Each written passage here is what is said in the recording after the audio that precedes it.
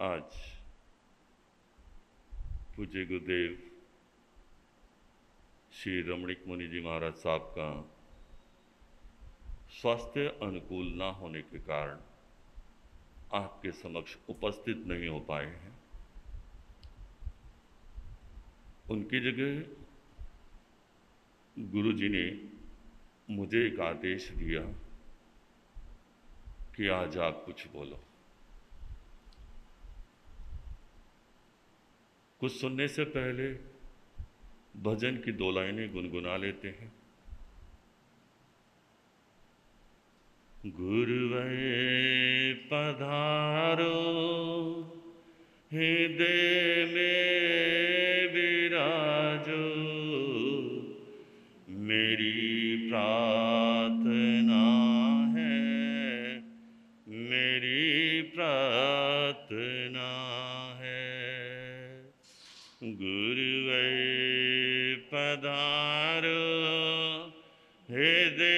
में विराजो, मेरी प्रार्थना है, मेरी प्रार्थना है।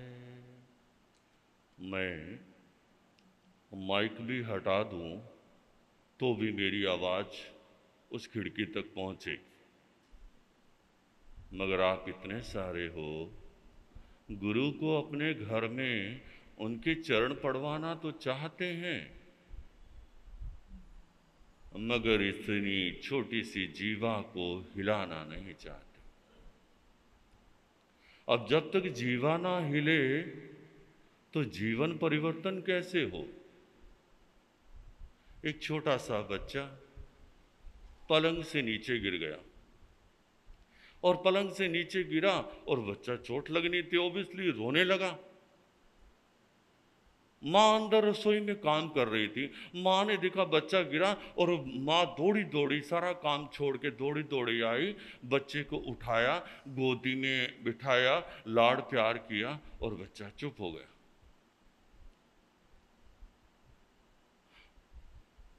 ये क्रिया देख के बच्चे के अंदर कोतूहल जागा है उसने कहा, सोचा कि मैं रोता हूँ तो वहाँ चली आती है, दौड़ी आती है। तो उसने एक दिन क्या किया, एक दीवार की तरफ़ खड़ा होके रोने का ड्रामा किया, रोने लगा। अब जब रोया, उसने सोचा कि माँ आएगी, मगर माँ नहीं आई। अब वो भी आश्चर्य। उसने और ज़ोर से रोना शुरू किया। मगर माँ नहीं आई। अब उस बच्चे को बड़ा आश्चर्य हुआ। कमाल है, उस दिन मैं रोया और मगर माँ झट आ गई और आज मैं रो रहा हूँ, माँ आई नहीं रही।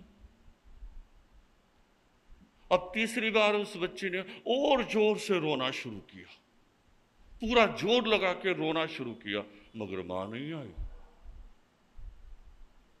अब उस बच्चे को सोचा कि कमाल है, ये कैसा हो गया? उस दिन में रोया, माँ झट आई, आज मैं तीन बार रोया, मगर माँ आई नहीं। क्या बात हो? माँ के पास गया, माँ माँ। ये बता, उस दिन मैं पलंग से नीचे गिरा, मैं रोया और तू झट आ गई और आज मैं तीन बार रोया, मगर तू आई नहीं। क्या बात? माँ ने कहा, बेटा, मैं तेरी माँ हूँ। तेरी ओरिजिनल आवाज़ को पहचानती हूँ। तेरी दिखावटी आवाज़ को पहचानती हूँ और तेरी ओरिजिनल आवाज़ को पहचानती हूँ। इसलिए मैं नहीं आई तो ये ड्रामे कर रहा था। तो वैसे ही जब तक हम गुरु के साथ दिल से नहीं जुड़ेंगे, तब तक गुरु की कृपा भी होने वाली नहीं है। आप कितना बोलो, गुरुदेव आपकी कृपा, गुरुदेव की कृपा, सब कुछ है। मगर दिल से जुड़ो तो दिल से जब जुड़ेंगे तो गुरु कितने भी दूर बैठे हो, वहीं से हमारे को आशीर्वाद मिल जाता। है ना? आपने बहुत बार सुना ना, चंदन बाला। है ना? चंदन बाला के बारे में सुना ना क्या भावना भाई कि भगवान आए तो मैं ये उर्दू के दाखले दे रहा? हूँ भगवान आ गए। सुबाहु कुमार ने क्या सोचा, क्या भावना भाई थी? धन्य है वो लोग जो भगवान के दर्शन कर रहे हैं। धन्य है वो लोग भगवान की वाणी सुन रहे हैं। धन्य है वो भूमि जहाँ प्रभु के चरण पड़ रहे हैं। काश इस मेरे क्षेत्र में भगवान आ जाए तो मैं उनके चरणों में दीक्षा ले लूँ। और भगवान ने जाना था पश्चिम की तरफ़। मगर उसके दिल की भावना, उसकी दिल की फीलिंग उसके दिल की पुकार ने भगवान को पश्चिम की जगह उत्तर में उस स्वभाव कुमार की तरफ़ खींच डाला। यही तो होती है भक्ति की प्यास, भक्ति की पुकार। अभी हमारे अंदर भक्ति की पुकार ही नहीं, सत्य है ये। जिस दिन मन में भक्ति की पुकार आएगी, आप सो काम छोड़कर स्थानक में आएँगे। सो काम छोड़ अरे छोड़ो, ये ज़िंदगी भर काम करते हुए हो गया, अरे ये काम तो फिर भी होता रहेगा, अरे आज मैं हूँ तो भी काम चल रहा है, कल मैं नहीं भी होंगी तो होऊँगा तो भी काम चलेगा। ये दुनिया का, ये संसार का काम किसी का रुकने वाला नहीं है, बस हमारा अहंकार है कि मैं ना हूँ तो काम चले ना। अभी बहुत बार वो सुना है ना, कुत्ता बैलगाड़ी के नीचे जा रहा था और कुत्ते ने सोचा, ये बैलगाड़ी मेरे दम पे चलती है। अहंकार में कुत्ता छोड़ा होके चलने लगा और बैलगाड़ी उसके ऊपर चल रही थी। कुत्ते ने सोचा, मेरे बिना ये गाड़ी ना चले। और कुत्ता सोचा, रुक गया और देखा गाड़ी आगे सड़क गई हम भी यही सोचते हैं कि हमारे बिना किसी का कुछ नहीं होना। हमारे बिना समाज नहीं चलेगा, हमारे बिना बिना घर परिवार नहीं चलेगा, हमारे बिना व्यापार नहीं चलेगा। सब चलते हैं। सब अपनी व्यवस्था के अनुसार सब चलते रहते हैं। बस हमारा ये मोह अटक जाता है। उस मोह के कारण हम इतना बड़ा लाभ मिलना था, उससे वंचित रह जाते है ना? तो इसीलिए एक बार सुन लो, दूसरी बार बोलने का प्रयास करना गुरुवर पधारो, हे देने विराजो, मेरी प्रार्थना है।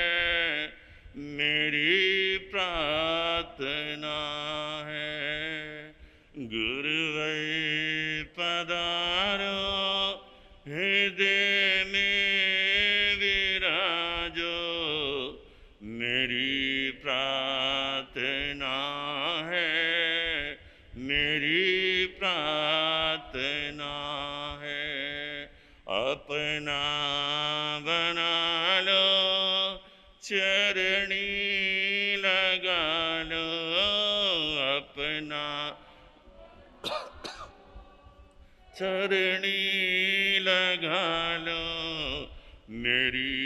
मेरी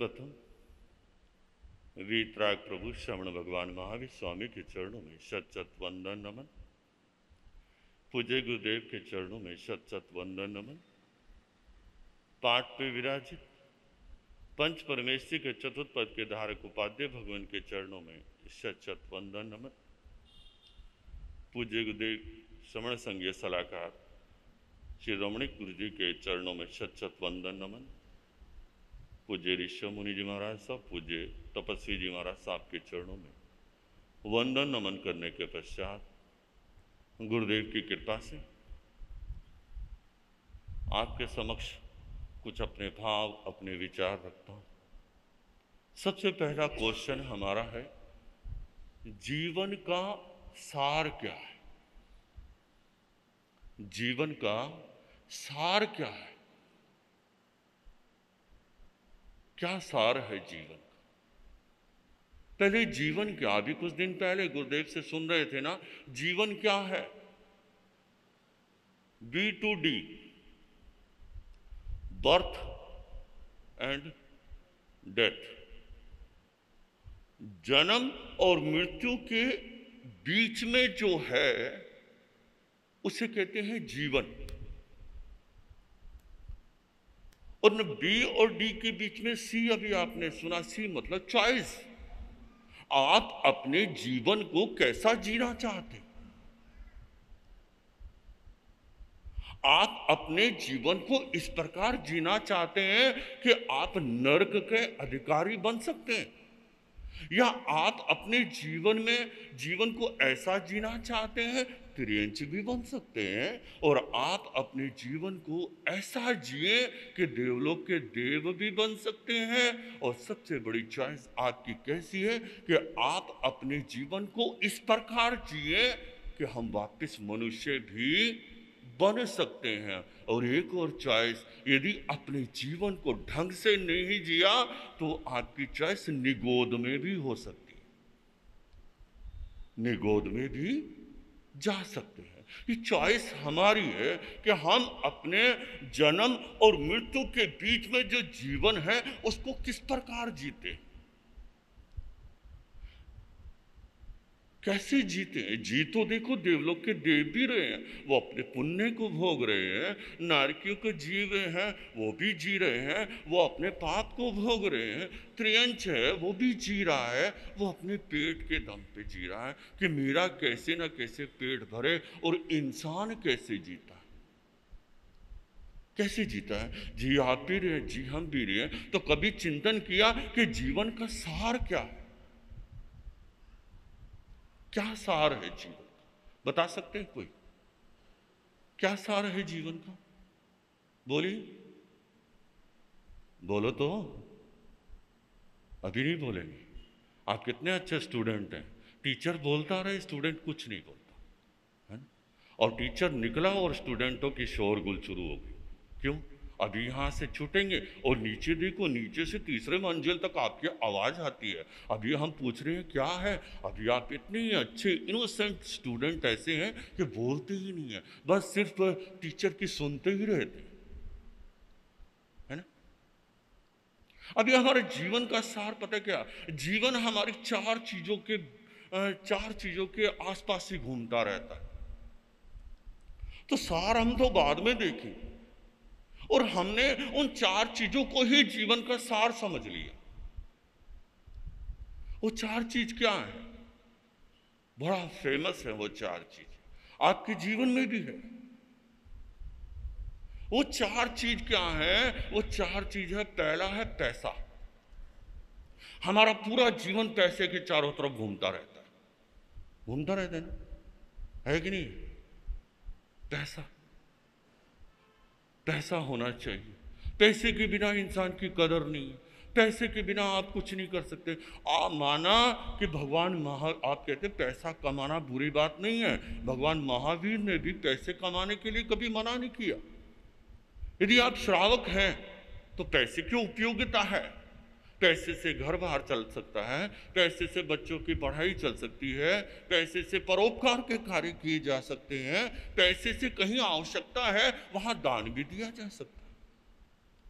पैसे के लिए भगवान ने मना नहीं किया? भगवान कहते हैं, पैसा कमाओ, हे गृहस्थी, तुम पैसा कमा सकते हो, कमाओ। जब पैसे कमाने का समय आए तो दो हाथ की जगह सौ हाथ कर लो। क्या कहा भगवान ने? पैसा कमाओ, पैसा कमाने हैं तो दो हाथ की जगह सौ हाथ करके पैसा कमाओ। मगर याद रखो, जब आपके देश को, समाज को, राष्ट्र को पैसे की आवश्यकता है, जिस सौ हाथ से पैसे आपने कमाए हैं, उसके लिए आप हज़ार हाथ करके उस पैसे को लुटाओ। जब आपके समाज को आवश्यकता हो जब आपके देश को आवश्यकता हो, जब आपके राष्ट्र को आवश्यकता हो, क्योंकि हमने कमाया किससे? अपनी समाज से, अपने देश से, अपने राष्ट्र से कमाया है। यदि उसको आवश्यकता है तो सौ हाथ से कमाए हुए को हज़ार हाथ करके लुटा दो। क्योंकि देश समाज है, देश है, राष्ट्र है तो हम भी हैं। और यदि समाज और देश राष्ट्र नहीं है तो हमारा भी कोई वजूद नहीं। अभी देखिए, आपने उपासक दशंग सूत्र पढ़ा है कभी? पढ़ा है? आजकल हमारे साधु क्या करते हैं? दसवीं कालिक पढ़ो।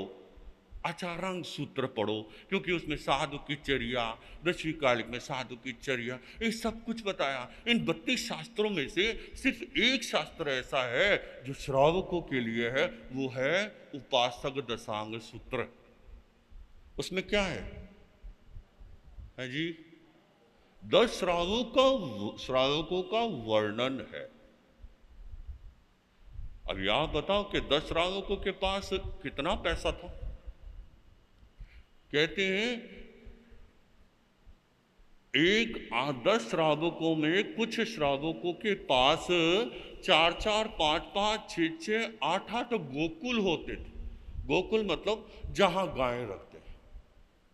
और एक गोकुल में दस हज़ार गायें होती थी। दस हज़ार गायें। और आठ गोकुल जिसके पास है तो कितना हो गया? मैथमेटिक लगाओ अस्सी हज़ार गायें। और अस्सी हज़ार गायों का कितना पालन पोषण करना पड़ता होगा? कितना घास फूस देना पड़ता होगा? कितना उनके चारा करना और कितना दूध और कितना दूध की बिक्री और कितनी कमाई होती होगी एक तो फॉर एग्ज़ाम्पल है कि उन दस श्रावकों में इतना पैसा होता था, इतना पैसा था, उसके हिसाब से आपके पास तो कुछ भी नहीं है। उनके पैर के नाखून के बराबर भी आपके पास धन नहीं है। कभी पढ़ के देख देखो उपासक दशांग सूत्र। तो इतना धन होने के बाद भी वो धर्म को कभी छोड़ते नहीं थे। पोषद के दिन आना पोषद करना, सामायिक नित्य प्रति सामायिक करना। इतना धन होने के बाद भी धर्म के प्रति उनके लगाव था। हमारे पास इतना धन भी नहीं है तो भी हमारा धर्म के प्रति कितना लगाव है? बताओ। अन्यथा मत लीजिएगा और कोई बुरा भी मत मानिएगा, क्योंकि मैं पैसे के विरोध में नहीं। अरे, मुझको दवाई चाहिए, मुझको कोई कपड़ा चाहिए तो भी मैं आपको कहूँगा ना। तो पहला हमारे जीवन का चारों तरफ़ क्या घूम रहा है? पहला है पैसा पैसे के चारों तरफ़ हम घूम सकते हैं। पैसे से आप साधन एकत्रित कर सकते हैं। पैसे से आप अच्छा बड़ा बंगला बना सकते हैं। पैसे से आप एक अच्छी लग्जरी गाड़ी खरीद सकते हैं। पैसे से आप ब्रांडेड कपड़े, ब्रांडेड मोबाइल खरीद सकते हैं। पैसे से आप सुख के साधन खरीद सकते हैं, मगर सुख नहीं खरीद सकते। है ना? यदि आपका पैसे के प्रति मोह है तो वो पैसा आपको अधिक गति की तरफ़ ले जाएगा। पक्का है, निश्चित। अभी आपने बहुत बार सुना है ना? कहते हैं, मोमन सेठ के पास राजा श्रेणी से भी ज़्यादा धन था।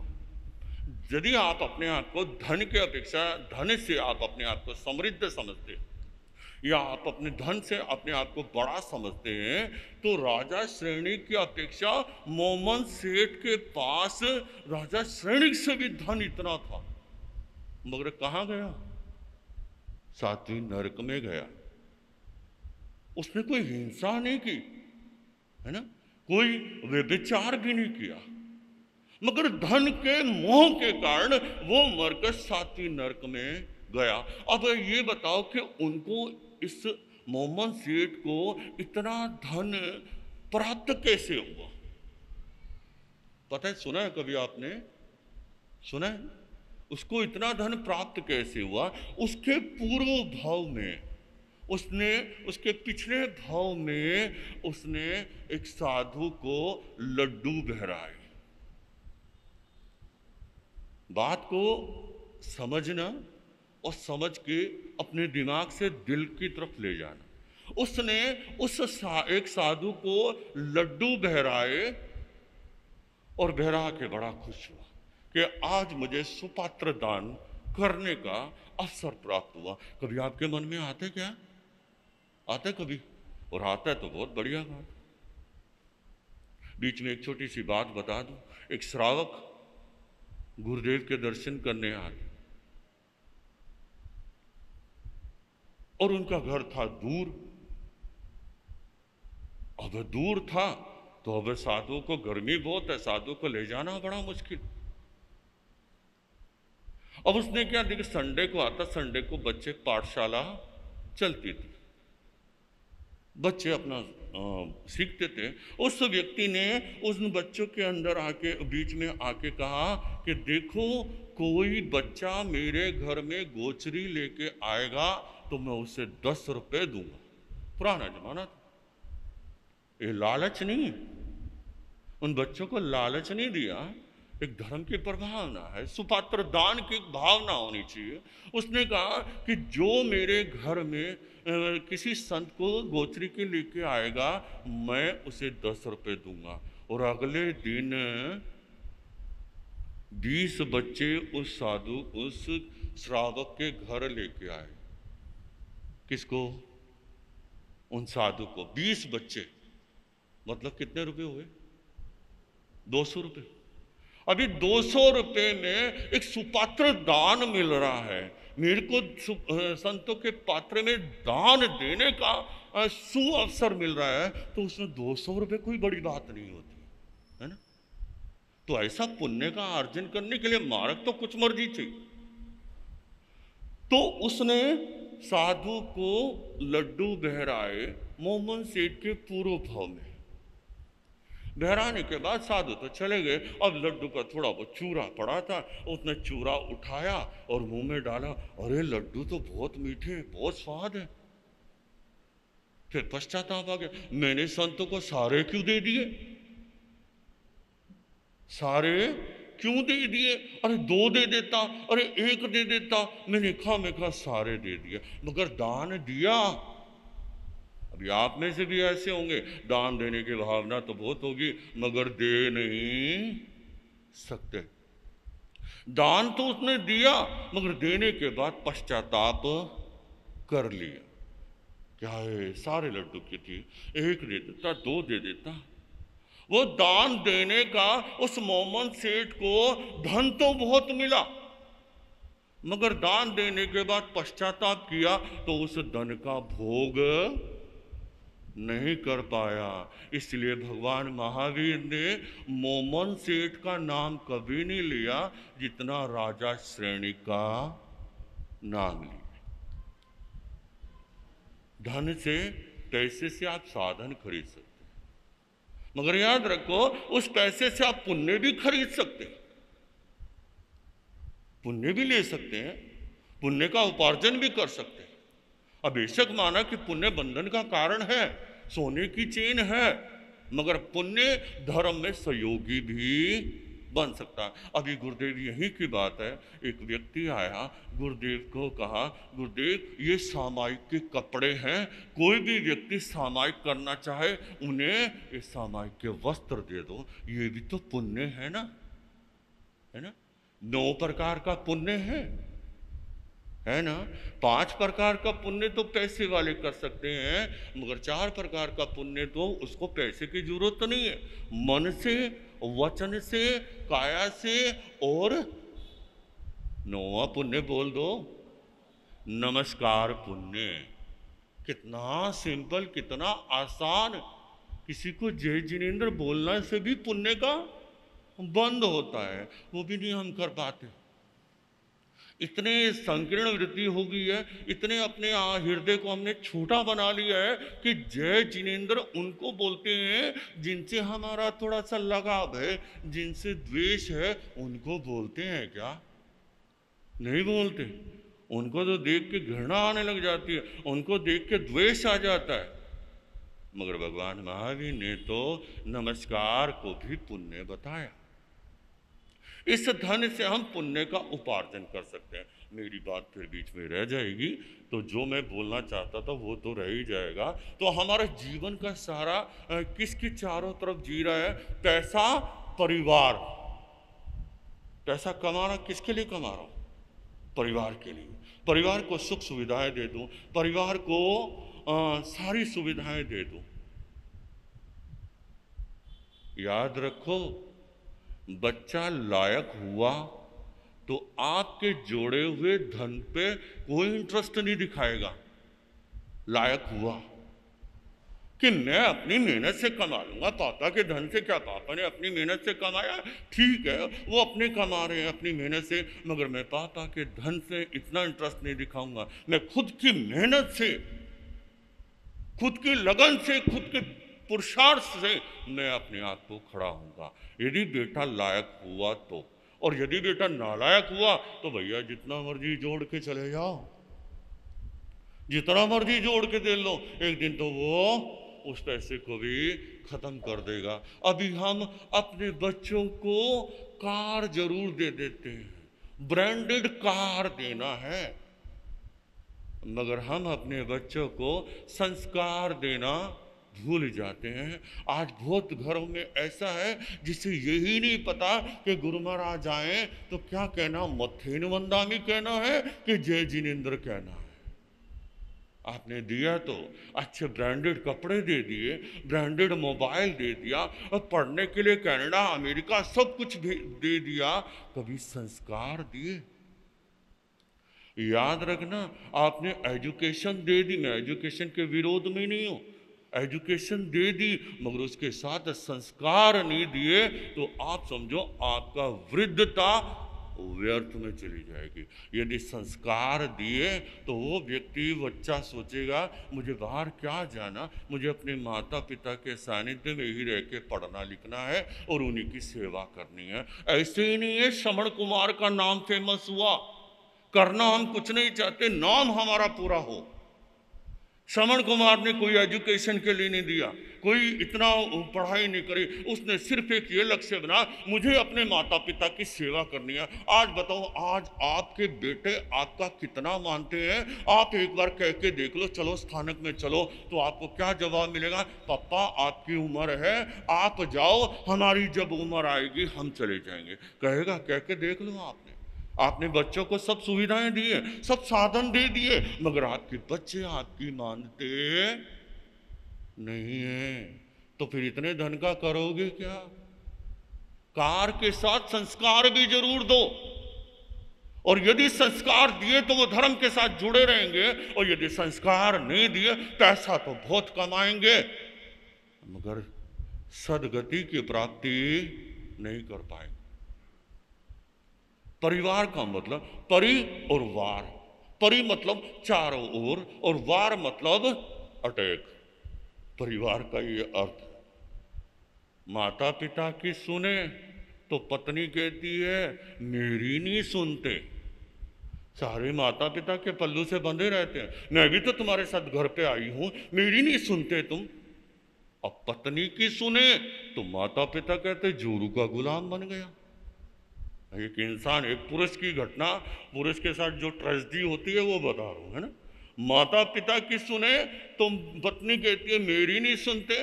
पत्नी की सुने तो माता पिता कहते जोरू का गुलाम, जब से पत्नी आई है, इसने हमारी तरफ़ मुँह फेर लिया। है ना?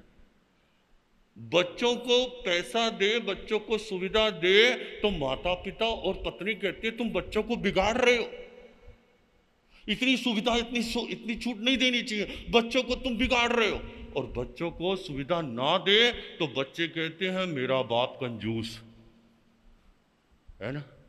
कंजूस है, पैसा नहीं खर्च करता, कहाँ जाएगा लेके? परिवार का मतलब चारों ओर से वार होना, उसे कह, उसे कहते हैं परिवार। है ना? एक इंसान परिवार के लिए तो सब कुछ दौड़ धूप करता। है ना? अरे बच्चों के लिए पैसा जोड़ दूँ, बच्चों के लिए पैसा ऐसा कर दूँ, बच्चों के लिए ऐसा कर दूँ, और बच्चे आपकी मानते फिर भी नहीं। है ना? माने तो अब जब आप उनके साथ संस्कार दो, उनको संतों के पास से जोड़ो, धर्म के साथ जोड़ोगे तो समझो वो आप उनको संस्कार दे रहे हो। यदि नहीं दोगे संस्कार नहीं दोगे तो फिर वो, आपको पता ही है आजकल के एजुकेशन का क्या हाल हो रहा है। ना? पहला है पैसा दूसरा है परिवार, तीसरा है प्रशंसा। अरे, मेरी प्रशंसा। मैं थोड़ा सा दान दे लूँ तो मेरी प्रशंसा हो। मैं जब स्थानक में जाऊँ तो सारे लिए मेरी कुर्सी खाली करें। मैं जाऊँ तो मेरे लिए मेरे गुरु संत भी मेरी प्रशंसा करें। प्रशंसा की भूख मेरी प्रशंसा होनी चाहिए, है ना? और चौथा है प्रसिद्धि। मेरा लुधियाना में नाम ना हो, मेरा पंजाब में नाम हो, पंजाब में नहीं, मेरा हिंदुस्तान में नाम हो, हिंदुस्तान में नहीं, मेरा वर्ल्ड में नाम हो।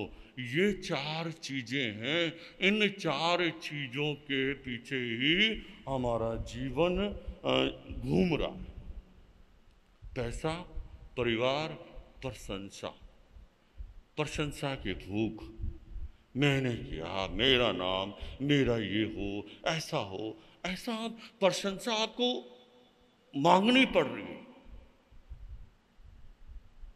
प्रशंसा कैसे होती है, आपके धन से आपकी प्रशंसा नहीं है, आपके धन से बेशक आपके सामने को प्रशंसा कर दे, पीछे आपके कमर पीटी कमर मोड़ी तो क्या कहे, अरे पैसे का अहंकार करता भाई, इसको क्या करे, इसके लिए बोलना पड़ता है भाई, पैसे वाला है भाई, कुछ भी कर सकता है। आपकी इज़्ज़त, आपकी प्रशंसा नहीं करता। प्रशंसा होती है, आपके विचार कैसे हैं और आपका आचरण कैसा है। आपके विचार कैसे आपके विचार अच्छे हैं और आपका आचरण अच्छा है तो आपका विरोधी, आपका दुश्मन आपसे आपसे द्वेष करने वाला भी कहेगा, ठीक है, मेरी इसके साथ बनती नहीं है, मगर इसका विचार बहुत अच्छे हैं, इसके, इसका आचरण बहुत अच्छा है। वो पीठ पीछे प्रशंसा करेगा। सामने तो भैया सभी चापलूसी करते हैं, पीठ पीछे आपके विरोधी भी आपकी प्रशंसा करें तो समझो कि आपकी लाइन या आपकी यात्रा सही चल रही है। और चौथा प्रसिद्धि, अब करो कुछ ना, और प्रसिद्धि ऐसे ही मिलती रहनी है। भगवान महावीर को गए हुए छब्बीस कितने साल हो गए? कितने साल हो गए? जितने भी तीर्थंकर हैं, गए हुए कितने साल हो गए। वो किसी ने उन्होंने प्रसिद्धि नहीं करी अपनी।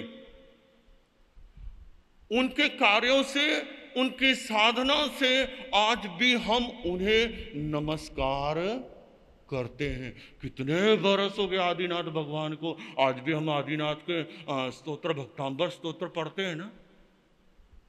पढ़ते हैं। तो कुछ काम करोगे तभी प्रसिद्धि होगी, कुछ काम करना नहीं है और प्रसिद्धि चाहो तो ऐसा तो कभी हो ही नहीं सकता।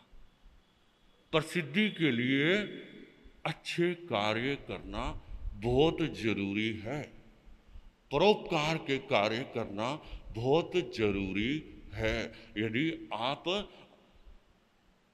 अभी सुना था ना महात्मा गांधी के बारे में कुछ अच्छे कार्य करिए, तभी तो हम अपने बाप को बाप नहीं कहते, अपने पिता को पिता नहीं कहते, मगर फिर भी कहते हैं, बापू महात्मा गांधी। कहते हैं ना? है ना? तो कुछ किया है, तभी उनका नाम हुआ है ना। और हम करना कुछ चाहते ही नहीं है, और हमारा नाम, हमारी प्रशंसा, हमारी प्रसिद्धि हो, ऐसा कभी हो ही नहीं सकता। ये जीवन में चार चीज़ें हैं। इन चार चीज़ों को बढ़ाओ तो मोक्ष की तरफ़ ले जाते हैं और यदि घटाओ तो नर्क की तरफ़ भी लेके चले जाते हैं। पैसा बढ़े मना नहीं करते। पैसे के साथ पुण्य कमाओ। जितना पुण्य कमा सकते हैं, उतना पुण्य कमाना है ना? परिवार को, परिवार के बीच में रहो, मगर परिवार के अंदर आपकी चलती है कि नहीं चलती कभी ये देख लेना। आपके बेटे आपके मानते हैं कि नहीं मानते तो आप जब नहीं मानते तो समझ लेना कि कहीं मेरे में मिस्टेक है।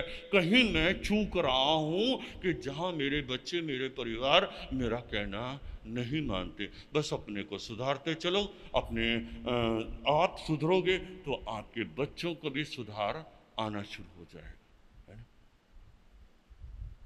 प्रशंसा, प्रसिद्धि, ये चारों चीज़ें हैं, इन्हीं में हम पूरे जीवन में उलझे पड़े रहते मगर जीवन का सार है, मैं बता दूँ, बता के अपनी बात को ये पूर्ण करता हूँ। जीवन का सार है लाभ लाभ। और व्यापारी आप जिस व्यापार में आपको लाभ नहीं होता तो आप व्यापार भी नहीं करते। एक विद्यार्थी है, वो हार्ड वर्क क्यों करता है? मैं कॉलेज में जाऊँगा, अच्छे कॉलेज में मुझे एडमिशन मिलेगा, अच्छे कॉलेज से अच्छी कंपनी में और अच्छी कंपनी से अच्छा पैकेज मिलेगा। वो उसका लाभ है एजुकेशन का लाभ है। हम साधु बने हैं कि हमें पता है कि इस जीवन में मोक्ष नहीं है।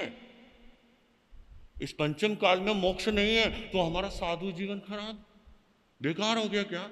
नहीं। हमें ये है, आस है, विश्वास है, श्रद्धा है कि हम इस मार्ग पर चले हैं तो कभी ना कभी तो मोक्ष मिलेगा। इसी आस में हम साधु बने। जीवन का सार है लाभ, और लाभ कैसे मिले? लाभ का उल्टा कर लो। लाभ का उल्टा भला करते जाओ। लाभ अपने आप मिलता जाएगा। भला करो ना और लाभ मिले ऐसा भगवान महावीर के मैथोमेटिक में कभी नहीं है। बस जीवन में भला करते जाओ लाभ अपने आप ही, अपने आप ही मिलता चला जाएगा। यही जीवन का सार है। इन्हीं शब्दों के साथ मैं अपनी बात को यहीं पूर्ण करता हूँ।